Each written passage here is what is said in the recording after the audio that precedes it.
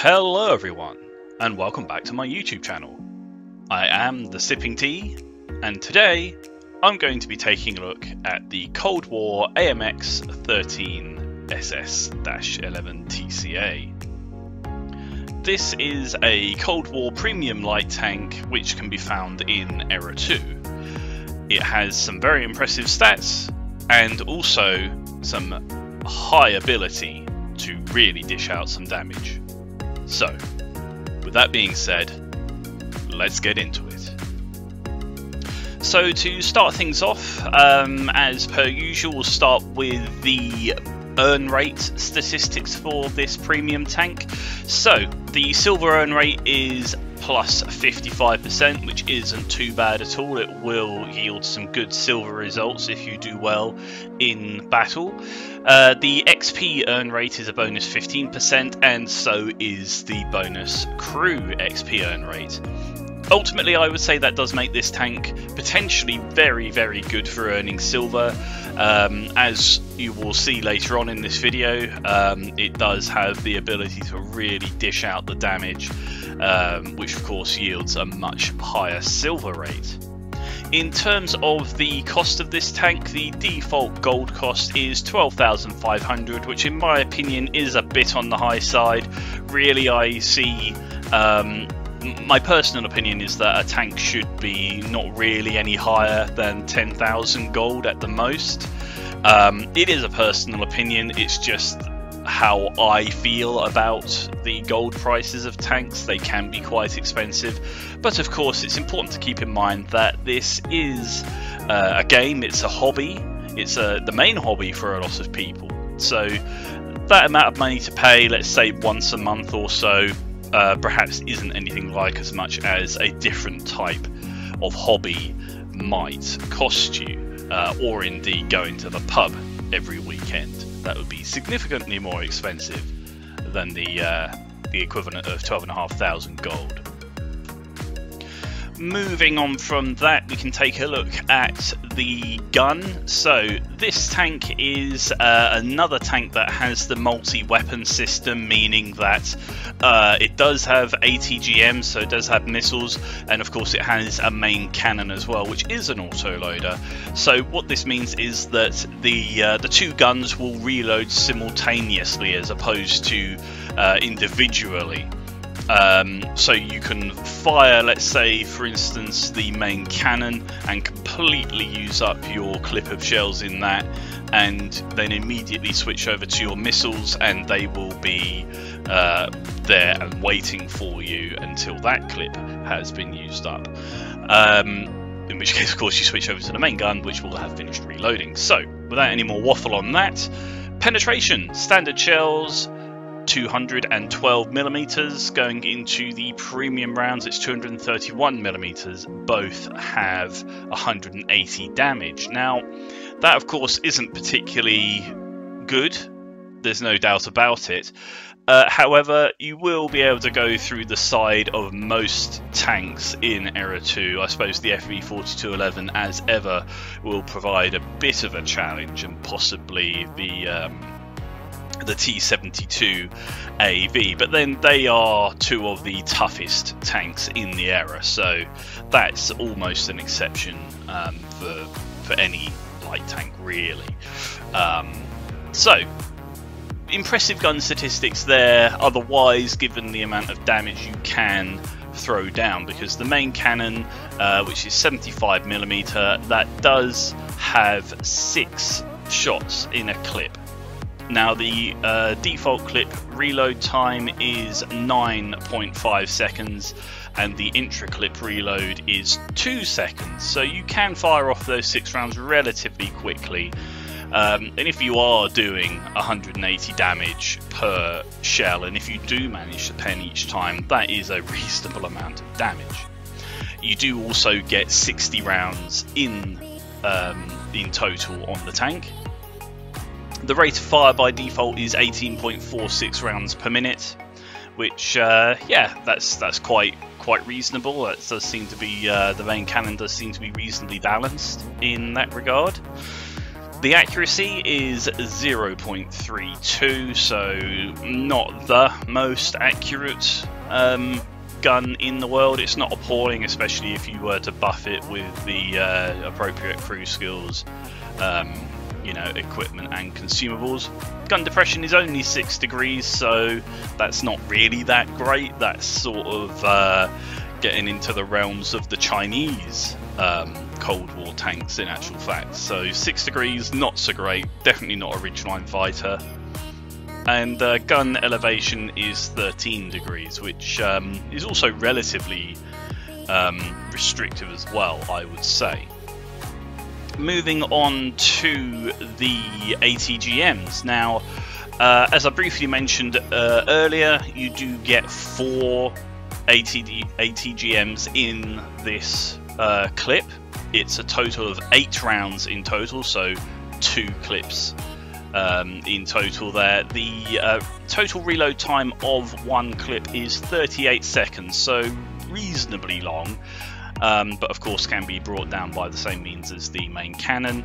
Um, and the inter-clip reload is 15 seconds, so again reasonably long on that. Though I suppose if you are to use um, let's say you wanted to fire off two missiles and not switch back to the main cannon, and you're relatively far from the enemy, the travel time, if you're quite far away from your target, will be uh, enough so that uh, your next missile will have uh, probably got about halfway or so on the reload before your missile has hit the target.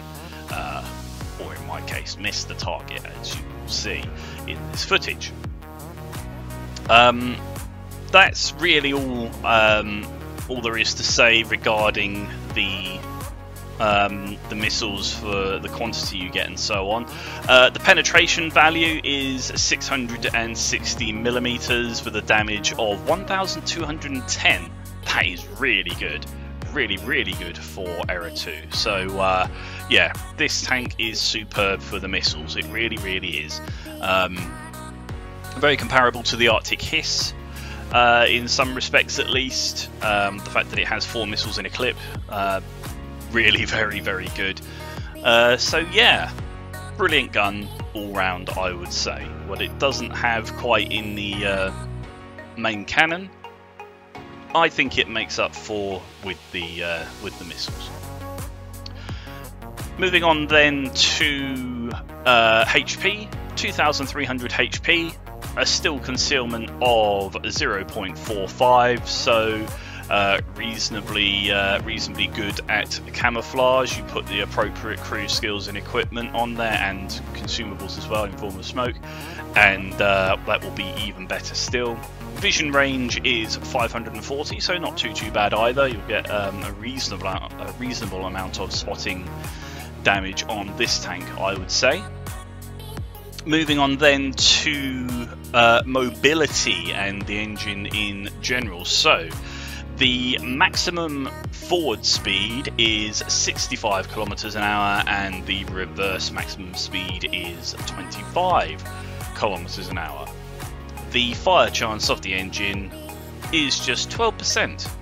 So, a little bit higher than, well, I see the average is 10%, so a little bit higher than that perhaps uh, negligible. So whether or not you'd even choose to run a fire extinguisher, um, obviously is entirely up to you, but probably not. I would say on this tank, maybe if you wanted to err on the side of caution, you would go with um, the appropriate commander skill in, in order to reduce the uh, likelihood of that fire really taking hold the reason I use the premium smoke here is because it does enhance the tank's uh, natural camouflage factor and of course you can pop that smoke and get out of a bad situation uh, and hopefully come out relatively unscathed. Um, and the premium repair kit, which, as I've mentioned in previous videos, is now becoming more of a, um, a standard um, standard requirement for me. Uh, mostly I've got that on this one uh, just so that if the ammo rack does get damaged I can uh, repair it and not have a absolutely ludicrous reload time on the missiles and well, indeed, it wouldn't be very good on the main cannon either. And the ability also just to um, frivolously repair tracks as well um, without having to worry about using your only repair kit is uh, very useful, very handy. So with the equipment uh, using, uh, I use on this tank improved ventilation, vertical gun stabilizer and a camo net. Now, uh, the camo net, because the tank already has really good um, camouflage factor, um, I've decided to use that to reduce it even more. I can say that um, it, with the camo net and the smoke combined, this tank does have a still concealment of 176 meters. So that's that's pretty good, um, if we're if we're honest. Um, so yeah, that's um, definitely worthwhile in my opinion. I do like to have the vertical gun stabilizer um, just because I like to be able to have that improved accuracy for the main cannon. It's not, I think, the most accurate gun in the world without this um, piece of equipment, so uh, it's what I would recommend, but uh, naturally it's personal preference, personal play style and indeed you could switch out for something else, um, maybe to boost your uh, mobility a bit. And the vents, well, really reference what I've already said. Uh, the vents more or less improve every aspect of the tank ever so slightly. Uh, so in all, I think that is quite worth it in summary, I would say that this tank is very much worth your attention. It is yet another very, very powerful light tank in Era 2 Cold War. Um, I personally think that Era 2 is really the, uh, the, the position in Cold War where the light tanks are extremely powerful. Um, you have some good ones in Era 1, uh, the British line, the uh, the FV 107 for instance, it's like a gnat. It's really small and really quick, um, and relatively hard to see sometimes. Um, and then in Era 3, I personally am just not really fond of those um, of those light tanks at the moment, at least. Um, purely because the heavy tanks, a lot of other tanks actually seems to be quicker than the light tanks, which doesn't really make a lot of sense to me. Um, and otherwise the light tank's penetration just seems to be a little bit lacking by comparison to um, to some of the others.